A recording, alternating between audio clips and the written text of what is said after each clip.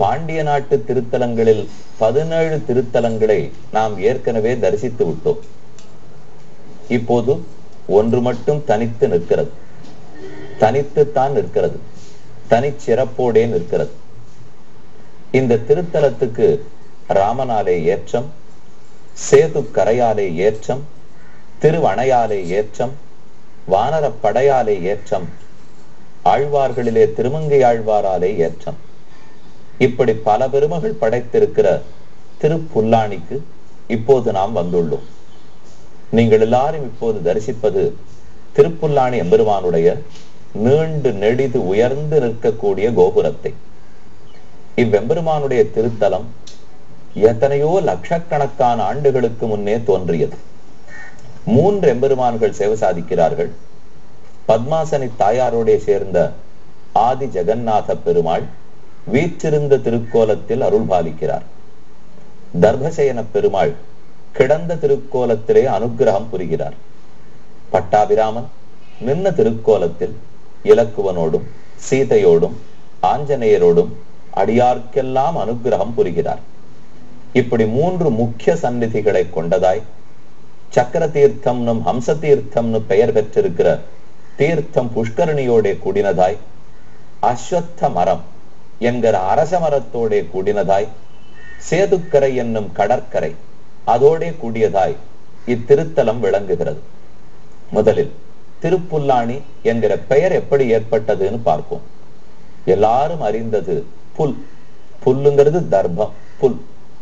அந்த புல்லையே அணையாக கொண்டு இராமன் இவ்விடத்திலே சயனித்திருந்தார் அதனால புல் அணை திரு புல் அணை. திருப்புல்லணைங்கிறது திருப்புல்லாணியின் ஆகியிருக்கலாம். பெருமான் சமுத்திரராஜனிடத்திலே திரேதாயுதத்தில் சரணாகதி அனுஷ்டித்தார். இந்த சமுத்திரத்தை கடந்து கடல் கடந்து நான் இலங்கைக்கு செல்ல வேண்டும். எனக்கு வழிவிடுவாய்னு வேண்டி மூன்று நாட்கள் சரணாகதி பண்ணினார். அப்போது கீழே படுப்பதற்காக புல்லான தர்பத்தை பரப்பி அதன் மேல் பெருமான் சயனித்திருந்தானாம். ஆக புல்லையே பரப்பி இருந்தபடியால் புல்லணை என்று சொல்லுகிறார்கள். அப்படி இல்லைனால் புல்லர் கண்வர் காலவர் என்கிற மூன்று ரிஷிகளுக்கு இவ்விடத்தில் பெருமான் பிரத்யட்சமாக அனுகிரகம் புரிந்திருக்கிறார் அதிலே புல்லருக்கு ரிஷிக்கு அருள் புரிந்திருக்கிறபடியால் புல்லணை அவருக்கு காட்சி கொடுத்த இடம் திருப்புல்லாணின்னு கொள்ளலாம். அப்படி இல்லைன்னா இந்த ஊரை சுத்தி நிறைய தர்ப்பங்கள் விளைந்துள்ளன. புல் ஒரு வகையான தர்ப்பம் விளைந்திருக்கிறபடியாலே புல்லாரண்யம் என்ன இந்த க்ஷேத்திரத்துக்கே பேர். ஒரு காடு புல்லாரண்யம் அதாவது புல்லே வளர்ந்து செழித்து நிற்கிற காடு அதனாலேயும் திருப்புல்லாணின்னு சொல்லலாம். இதுல திரு சேர்ந்து இருக்கிறதுக்கு காரணம் பிராட்டி சம்பந்தத்தோட பத்மாசினி தாயாராலேயே பெருமை பெற்ற திருத்தலம் ஒல்லியம் அதனால உயர்வு தோற்றணுங்கிறதுக்காக திரு புல் அணை திருப்புல்லாணி திருப்புல்லாரண்யம் என்று பல விதத்திலும் அழைக்கிறார்கள். அதுதான் திருப்புல்லாணிங்கிற க்ஷேத்திரத்துக்கு பெயர் காரணம். இத்திம்மதேசத்தை பத்தி இன்னும் மேல மேல நாம பல நாட்கள் அனுபவிக்க போகிறோம். இனி கண்ணனின் ஆரமுது நிகழ்ச்சி எத்தனை நாடோ அத்தனை நாள் இந்த திருத்தலத்திலிருந்து ஒரு ஒரு இடமா பார்த்தா கூட அத்தனை வைபவங்கள் உள்ளன. இருந்தாலும் நமக்கு அவ்வளவு நாட்கள் கிடையாதே. எல்லா திவ்யதேசங்களையும் சேவிச்சாகணும் இல்லையும் அதனால இயன்ற அளவுக்கு இத்திருத்தலத்தின் பெருமைகளை பார்ப்போம். இவ்விடத்துக்கு நாம் இப்ப வந்திருக்கோம். ஆறாவது அத்தியாயத்தினுடைய இருபத்தி ஒன்பதாவது ஸ்லோகத்தை பார்க்க வேண்டும். கீழே இருபத்தெட்டு ஸ்லோகங்களுடைய அர்த்தங்களை பார்த்துட்டோம். அதிலே யோகாபியாசத்தின் விதி யோகத்தை பயிலும் முறை கண்ணனாலே சொல்லப்பட்டது. இந்த ஆறாவது அத்தியாயத்திலே என்னென்ன சொல்லியிருக்குங்கிறதை ஆளவந்தார் ஒரு ஸ்லோகத்தாலே சொல்லியிருக்காருங்கிறதை கீழே உங்களிடத்திலே தெரிவித்தேன். யோகாபியாச விதிகி யோகி சதுர்தா யோக சாதனம் யோக சித்திகி ஸ்வயோகசிய பாரம்யம் ஷஷ்ட உச்சியதே. ஆறாவது அத்தியாயத்தில் யோகத்தை பழகும் முறை சொல்லப்பட்டது. யோகிகள் நான்கு வகைப்பட்டவர்கள் என்று சொல்லப்பட்டது. யோக சாதனம். யோகத்தை பழகுவதற்கு வேண்டிய சில சில கருவிகள். என்னென்னது இருந்தா தான் யோகம் கைகூடும் அப்படிங்கிறது சொல்லப்பட்டது. யோக சித்தி. யோக நடுவுல நழுவி போயிடுத்துனா கூட நாம் எடுத்துக்கொண்ட காரியம் கண்டிப்பாக நிறைவேறியே தீரும் அப்படிங்கிற யோகத்தின் பெருமை சொல்லப்பட்டது. எல்லா யோகங்களை காட்டிலும் பக்தி யோகமே சிறந்தது என்று கடைசி ஸ்லோகத்தாலே சொல்லப்பட்டது. இப்படி வெவ்வேறு கருத்துக்கள் உண்டு. இதுல நாம் இப்ப முதல் இருபத்தெட்டு ஸ்லோகங்களாலே யோகத்தை பழகும் முறையை பார்த்து விட்டோம். நல்ல இடத்தை தேர்ந்தெடுத்து கொண்டு தன்னை உயர்ந்த ஆசனத்திலே இருத்தி கொண்டு மனத்தை ஒருநிலைப்படுத்தி எங்கெங்கோ புலன்களை மேய விடாமல் ஆத்மாவிடத்திலேயே செலுத்தி அதிலேயே ஈடுபட்ட நெஞ்சு படைத்தவனாய் அதை நினைப்பதிலேயே மகிழ்ச்சி அடைபவனாய் ஏனைய விஷயங்களை பத்தி கவலைப்படாதவனாய் பழக வேண்டும். அப்படிங்கறத இது வரைக்கும் நாம பார்த்துட்டோம். இருபத்தி எட்டாவது ஸ்லோகம் வரை. இனிமே இப்ப இருபத்தி ஒன்பதுல இருந்து யோகிகள் நான்கு வகையினர் என்று கண்ணன் சொல்ல போகிறார். இந்த நாலு பேரும் சமமானவர்கள் அல்லர்கள். ஒருத்தனை காட்டிலும் இன்னும் உயர்ந்தவன் இன்னும் உயர்ந்தவன். அவன் பழகுகிற முறையை பார்த்தா அவனுக்கு ஏற்பட்டிருக்கிற பற்றற்ற தன்மையை பார்த்துட்டால் இவனை காட்டிலும் அடுத்தவன் அவனை காட்டிலும் அடுத்தவன் அவனை காட்டில் நான்காம் அவன். என்ன இப்ப நாலு ஸ்லோகங்கள் பார்க்க போறோம்?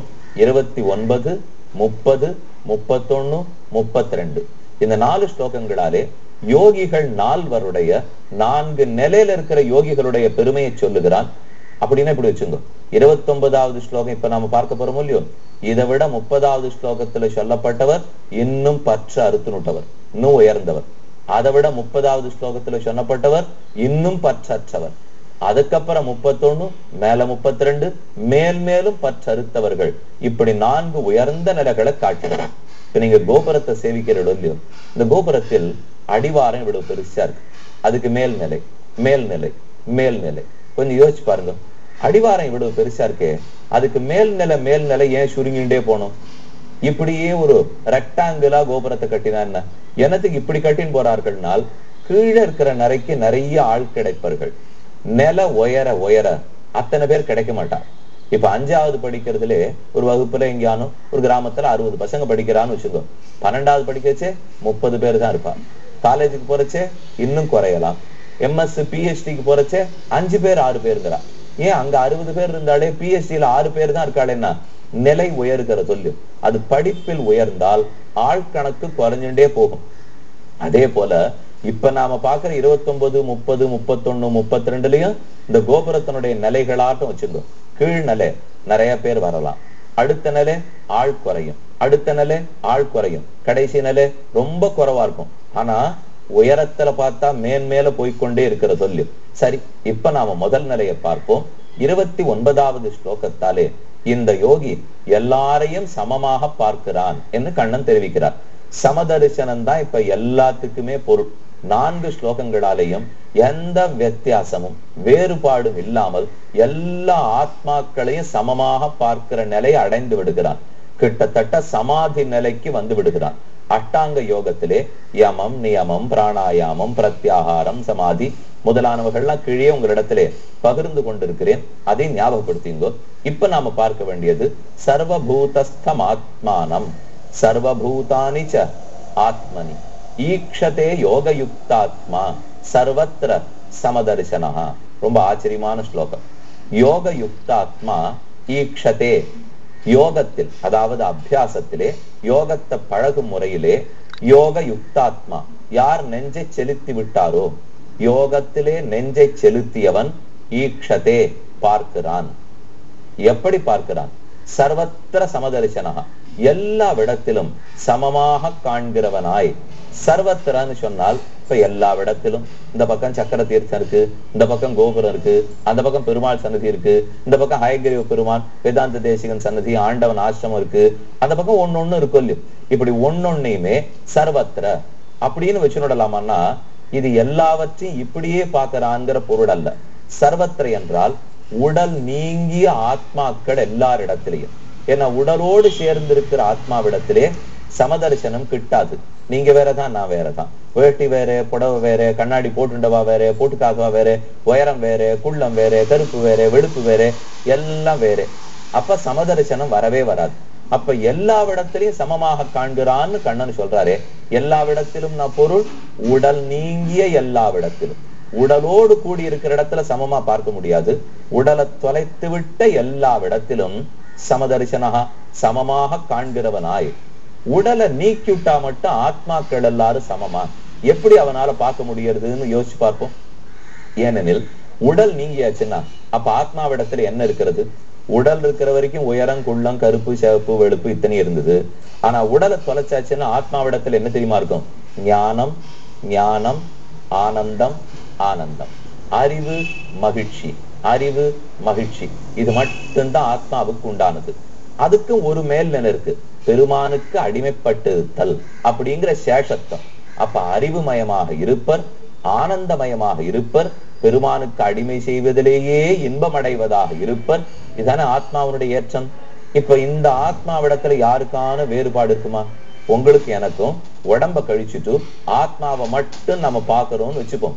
நீங்க கண்ணை மூடி இதை நினைச்சு பாத்துக்கணும் ஆத்மாவை மட்டும் உடலை கழிச்சுட்டு பார்த்தோம்னா அதுங்கிட்ட இருக்கிற பண்புகள் யாவை? அதுங்கிட்ட இருக்கிற குணம் யாவை? இப்ப என்ன பார்த்து குணம் யாதுன்னு சொன்னா வெள்ளை வேட்டி எப்பவும் கட்டிட்டு வருவர். கார்த்தால ஆறரை மணிக்கு வந்து தொந்தரவு பண்ணிட்டே இருப்பாரு. அப்படின்னு என்னை பத்தி இப்ப நீங்க சொல்லிடுவீங்க இந்த உடம்ப விட்டுடுங்க. கிருஷ்ணன்கிற பேரை விட்டுடுங்க உங்க பேரையும் விட்டுடுங்க. இதை கழிச்சுட்டு ஆத்மான்னு மட்டும் பார்த்தால் அதுக்கு இந்த ஆறரை தொந்தரவு தொந்தரவு இல்லாதெல்லாம் தெரியாது. அதுக்கு தெரிந்தது அறிவுமயமாக இருத்தல் மகிழ்ச்சி கடலிலே திளைத்தல். அப்படின்ற பட்சத்திலே இந்த பண்புல உங்களுக்கு எனக்கு வித்தியாசம் உண்டா? யாருக்குன்னா வித்தியாசம் உண்டா? இந்த பக்கத்துல ஆடு வந்துட்டு போறது குரங்கு பார்த்திருக்கீள் பிருந்தாவனத்திலே ஒரு ஒரு பிராணி வந்துட்டு போறதே வித்தியாசம் உண்டா? உடல் இருக்கிற வரைக்கும் தான் இது இத்தனையுமே. ஆக இதை கழித்து சர்வத்திர சமதர்சனா ஞானத்தின் நிலையிலே ஞான வடிவினனாக பார்த்தால் அறிவே படைத்தவர்கள்னு பார்த்தால் அறிவு வடிவானவர்கள்னு பார்த்தால் எல்லாரும் சமந்தான் என்று காண்கிறான். ஆக யோக யுக்தாத்மா சர்வத்திர சமதரிசனகா உடல் நீங்கிய எல்லா ஆத்மாக்களிடத்திலேயும் ஞான வடிவினராக கொண்டு எல்லாரையும் சமமாக பார்க்கிறான். அதனால அவனுடைய நிலைமை என்னன்னு பாருங்க. சர்வபூதஸ்தம் ஆத்மானம் சர்வபூதானிச்ச ஆத்மனி. ஆத்மானம் தன்னை சர்வபூதஸ்தம் எல்லா பூதங்களுக்குள்ளும் இருப்பதாக காண்கிறான். தன்னை ஞான வடிவினரான தன்னை சர்வபூதஸ்தம். ஞான வடிவினரான மத்த பேரோட சமமாக பார்க்கிறான். சர்வபூதஸ்தம் ஆத்மானம். ஆத்மானம்னா தன்னை. ஏன்னா தானும் ஒரு ஞான வடிவமா இருக்கிறவர் தான். மற்ற எல்லாரும் ஞான வடிவினரா இருக்கிறவர் தான். அப்ப தன்னையும் மற்ற எல்லாரையும் ஞான வடிவினரா இருக்கிறத கொண்டு சமமாக பார்க்கிறான். அடுத்தது சர்வபூதானிச்ச ஆத்மனி. மற்ற எல்லாரையும் தன்னிடத்திலே பார்க்கிறான். மற்ற எல்லாரும் ஞான வடிவினர் அவர்கள் சொல்லியும் அவர்களையும் தன்னோட சமமாக பார்க்கிறான். தானும் ஞானம் வடிவமா இருக்கிறவர் அவரும் அறிவே வடிவமா இருக்கிறவர். அப்ப இருபது சமந்தானே தன்னை எல்லாரோடும் சமமாக பார்க்கிறான். எல்லாரையும் தன்னோடு சமமாக பார்க்கிறான். எதனாலே? அறிவு வடிவமாக இருக்கிறபடியாலே. அறிவாகவே இருக்கிறார்கள். அறிவு உடையவர்களாக இருக்கிறார்கள்.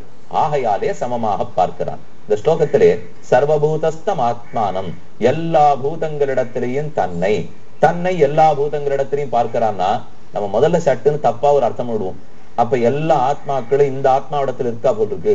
இந்த ஆத்மா எல்லா ஆத்மாவிடத்துல இருக்கா போல் இருக்குன்னு தோணும். சப்தத்தை பார்த்தா சொல்ல பார்த்தா அப்படித்தான் இருக்கு. ஆனா அது நடக்காது இல்லையோ.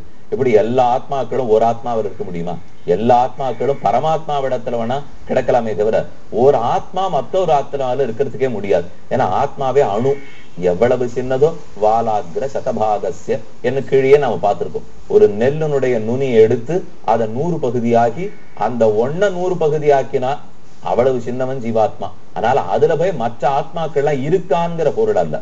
ஒரு ஆத்மாவில் இன்னொரு ஆத்மா இருக்க முடியாது. பரமாத்மாவிடத்துலதான் நாம எல்லாம் இருக்க முடியும் அதனால இப்படி சொல்றதுக்கு காரணம் ஏதென்னால் ஒன்னில் மற்றொன்று இருக்கிறான்ங்கிறது அல்ல இவனுக்கு எந்த ஞான வடிவமோ அவனுக்கும் அதே ஞான வடிவம். ஆனால் அந்த வடிவத்தோடையவனை இவனோட சமமாகவும் இந்த வடிவத்தில் இருக்கிறவன அவனோட சமமாகவும் இப்படி எல்லா ஆத்மாக்களையும் சமமாக காண்கிறான். ரகுகுணன் ஒரு ராஜா இருந்தான். அந்த ராஜா பெரியவரிடத்துல போய் நாம நிறைய அர்த்தங்களை கேட்டுக்கணும். ஆத்மா எவ்வளவு சிறந்ததுன்னு புரிஞ்சுக்கணும்னு புறப்பட்டான். அப்ப அவனுக்கு பல்லக்கு தூக்கின்னு போறதுக்கு மூணு பேர் தான் கிடைச்சா. நாலாவது பக்கத்துக்கு ஒரு மகாஜானி ஜடபரதர்னு ஒரு பேர். அவரை கூப்பிட்டான் அவர் பல்லக்கு தூக்க ஆரம்பிச்சார். அவருக்கு ராஜாவும் தெரியாது ஒண்ணும் தெரியாது. அவர் வாட்டுக்கு ஆத்மாவை அனுபவிச்சிருந்து பரமாத்மாவை அனுபவிச்சிருந்து தள்ளாடி தள்ளாடிட்டு தூக்கின்னு போயிருந்தார். ராஜா கோவம் வந்து பல்லக்கு கீழே வைனா அவரை கை காமிச்சிட்டா மத்த மூணு பேரும். இவனாலதான் இந்த மாதிரி பல்லக்கு ஆடுறது. உனக்கு இதனால வருத்தம் விட்டு ராஜா எழுங்கி கையில கம்ப எடுத்துட்டான் உன்னை வசைக்கு போறேன் இப்போ. நானா பருத்து தானே இருக்கேன். ஒழுங்கா தூக்க வேண்டித்தானே ஏன் இப்படி பண்ற நீ யார்? எங்கிருந்து வருகிறாய்? எதற்காக வந்தாய்னா அவர் ரொம்ப சிரிச்சுட்டே சொன்னார். நான் உன்னை தூக்கவே இல்லையேன்னு விட்டார். இவ்வளவு நேரம் நீ தானே தூக்கி வந்தேன்னா என் உடம்பு தூக்கிட்டு நான்கிறது ஆத்மா நீ என்னமோ அடிக்க போறேன்னு சொல்ற என்ன அடிக்கவே முடியாது நீ. என் உடம்ப தான் அடிக்க முடியுமே தவிர என்ன நீ அடிக்க முடியாது. ஒரு மூணு கேள்வி கேட்டியே நீ யார் எங்கிருந்து வந்தா எதற்காக வந்தாய்னுட்டு. கேட்கவே கேட்காத ராஜன் நீ யாரோ நானும் அவன் தான் நீ ஒரு ஆத்மா நான் ஒரு ஆத்மா. நீ எங்கிருந்து வந்தே? ஒரு அம்மாவனுடைய வயத்துல இருந்து நான் அங்கிருந்து தான் வந்தேன். நீ எதற்கு வந்தே உன் கர்மங்களை தொலைக்க நான் அதற்கு தான் வந்திருக்கேன்? இதுல என்ன உனக்கு எனக்கும் பெரிய வேறுபாடு? உன்னே ஒண்ணு வித்தியாசம். நீ பல்லக்கில மேல ஏறி உட்காந்து கர்மங்களை தொலைச்சிட்டு இருக்கேன் நான் பல்லக்க தூக்கி கர்மங்களை தொலைச்சிட்டு இருக்கேன் இவ்வளவுதான் வித்தியாசமே தவிர ஆக மொத்தத்துல வேற யாருக்கும் வேறுபாடு கிடையாது. ஆகையாலே உடல் நீங்க பெற்ற ஆத்மாவை பார்த்தோம்னால் எல்லாரையும் சமமாக கண்டுவிடுகிறான் உடல் நீங்க வேணும் ஆத்மாவனுடைய இயற்கை தன்மை புரிய வேண்டும் அது அறிவு வடிவமானது ஆனந்த வடிவமானது பெருமானுக்கே அடிமைப்பட்டிருப்பது என்பதை புரிஞ்சுட்டால் அதில் எல்லாரும் சமம் என்னும் முதல் வகைப்பட்ட யோகி புரிந்து கொள்ளுகிறான். சர்வபூதஸ்தம் ஆத்மானம் சர்வபூதானி ச ஆத்மனி ஈக்ஷதே யோகயுக்தாத்மா சர்வத்திர சமதர்சனஹா என் ஆச்சரியமான ஸ்லோகம். எல்லாவற்றையும் அப்ப சமமாக பார்த்து விடுகிறான். ஆக யோகத்தில் ஈடுபடத்த நெஞ்சு படைத்தவன் சர்வத்திர சமதரிசனகா எல்லாவிடத்திலும் சமமாக காண்பவனாய் தன்னை மற்ற பேரிடத்து சமமாக மற்ற பேரை தனக்கு சமமாக அறிவு வடிவனரானபடியாலே பார்க்கிறான். என்று இருபத்தி ஒன்பதாவது ஸ்லோகத்தின் அர்த்தம் இன்னும் சாமியம் திருப்புல்லாணியில எப்படி சேவை சாதிக்கிறதுங்கிறதை மேல் வரும் நாட்களிலே நாம் பார்க்கலாம்.